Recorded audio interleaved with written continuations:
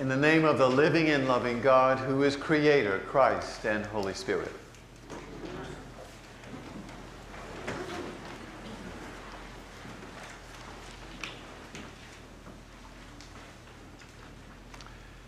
There is too much hate and violence in the world. There is too much hate and violence in our nation. So, how can our faith in God move us beyond hate and violence? Toni Morrison died last week. She was the first African American um, woman to receive the Nobel Prize in Literature. And in an op ed in the New York Times, Tracy K. Smith, who was a former poet laureate of the United States, said the following It's hard waking up so often to news of the terror unspooling in America domestic terrorism, racially motivated violence, environmental devastation, economic instability. But the living monument of Ms. Morrison's body of work assures me that the language of peace justice, safety, and stability must enter our imagination, as they always have, not through the language of policy, but via our willingness to regard one another as worthy of attention and love. How can our faith in God move us beyond hate and violence? In one of Richard Rohr's daily meditations last week, Wayne Teasdale said, by allowing inward change, while at the same time simplifying our external life, spirituality serves as our greatest single resource for changing our centuries old trajectory of violence and division. People's hearts must change before structures can change. How can our faith in God move us beyond hate and violence?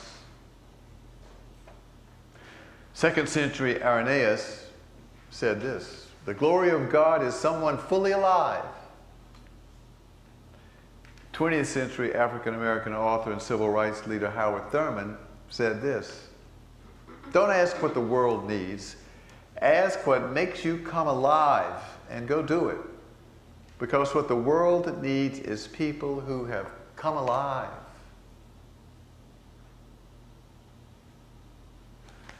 God created us humans with minds to imagine and hearts to love and souls to believe. And, and when we're loving and imagining and believing, we are living life fully. That's what God wants us to do. Um, when we're not doing that, something else takes over, sort of a negative spirit, maybe a distraction, maybe a fear, something going on internally or in the culture, and it sort of squashes that ability of imagining and loving and believing and we fall into a less than fully alive human behavior. And that's not what God wants.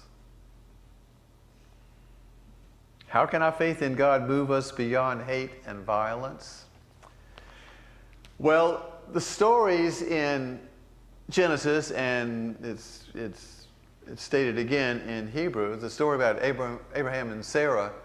Um, is not so much about hate and violence, but it is definitely believing in God, having faith in God, and allowing that faith in God to move them, Abraham and Sarah, into a brand new geographical location, leaving this small little town of Ur and going for miles and miles and miles in, across desert into a new territory. Um, you know it was a scary trip. You know that they were worried about going. And in fact, Abraham really sort of tried to negotiate out of it, or at least to, to, for him to get really clear about what he would get out of it. But somehow, somehow he and Sarah were able to have faith in God to go into the desert, to go way beyond their comfort zone. And look what happened. As a result of those two people having faith in God, Judaism, Christianity, and Islam were born. In Hebrews, as it goes on to tell about people in the history of Christianity and Judaism uh, having faith in God, it talks also about those early Christians. All those stories about the early Christians who were um, who had a very difficult life, who were um, beaten, who were restricted, who were who were killed, who all because of their faith in God, and yet and, and yet for some reason their faith was so strong and so deep that they, they didn't waver. They continued to believe in God and went even deeper so that we, in fact, are sitting here in this church as a result of their faith in God, knowing that God was with them, that whatever happened, God would be with them, and that they were living deeply and fully into their commitment to that faith in God, in Jesus Christ. How can our faith in God move us beyond hate and violence? I think now is a time in the history of the world and in the history of our nation that we need to say yes to that possibility in a way that we may not have said before. I mean, all of us are here because we have faith in God. All of us are here because we're on a faith journey, we're on a spiritual journey, and we're willing to make a commitment to learn more and more about what it means to be faithful. And yet, at the same time, it seems that there are more and more challenges that push us away from that path or pull us away from that path of faithfulness. And I think it's a time for us to stand up, just like those early Christians and just like Abraham and Sarah, and say, Yes, God, I believe in you. I believe that you are, in fact, providing for this world, now and in the future, a kingdom which is a holy and right relationship with you. And I am a part of that movement. I believe it's time for us to be ever more intentional and forthright of saying, yes, now is the time for us to stand up and say, we believe in God and God can make things different. I have said this in this church before because it's true and it's just kind of, it's like, uh, I just want to be totally open. And that is, um, you know, all of us are a, a piece of work in process. Um, and when I talk about hate and violence, I know I know that I have hateful thoughts, hurtful thoughts, and it always blows me away like, where does that come from? Why, why did I think that thing, that pre- having prejudice against somebody that is other? Or that even, even hurtful thoughts, where did it come from? Immediately I feel guilty and strange. But then I realized that my responsibility as a believer in Jesus Christ is to acknowledge whatever dark spirits might exist in the world and within me and say no to it and say yes to the grace and love of God in Jesus Christ. I think probably that experience is common to all of you. Probably every single day we have the choice of being hateful or angry or violent or something, we have the choice either to let it fester within our hearts and in our minds or to say, nope, that's not really me. I'm letting it go and I'm returning to a deep commitment to God in Jesus. I think now is a time for more and more of us to be quite open about that faith journey because it's just a tough time in this country and throughout the world. And yet God is here, just as the gospel said. I'm with you. I am preparing for you a kingdom.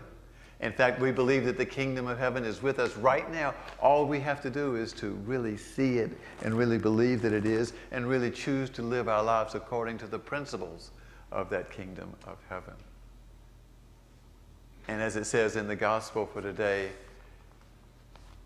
we are called to be ready, to be ready to step forward in faith or stand up against, to stand up against evil and to stand with those who have been oppressed and to really try to live a life of love and of peace and of honesty with all with whom we come in contact.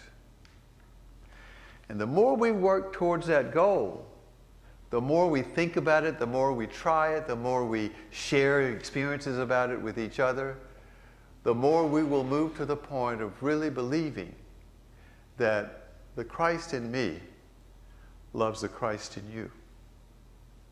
The more we move to that point that not only are we connected to each other across all kinds of divisions as humans, but we as Christians are connected to each other because of our faith in God.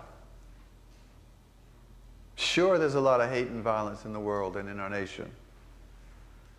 But our faith in God can move us beyond all of that to a place which is filled with love and honesty and will, in fact, make a difference in the world. So, my question for you, my two minute question for you today, is the one I've been repeating. How can your faith in God move you beyond whatever degree of hate and violence does exist in your surroundings to a greater and more holy place? How can your faith in God move you forward?